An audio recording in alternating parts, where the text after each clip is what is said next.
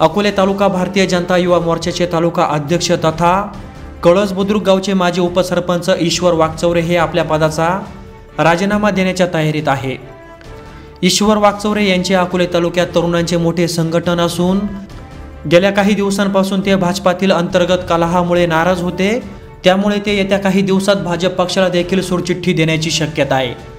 ईश्वर वागचौरे भाजपाला सोडचिठ्ठी देऊन राष्ट्रवादी पक्षात प्रवेश करतील अशी त्यांच्या कार्यकर्त्यांमध्ये सध्या चर्चा सुरू आहे. ईश्वर वागचौरे यांच्या अनेक महत्त्वाच्या कामांमध्ये पक्षातीलच काही लोकांनी खोडा घातल्याने त्यांनी हा निर्णय घेतला असल्याचे बोलले जात आहे. प्रतिनिधी अमोल शिर्के अकोले टाइम्स अकोले.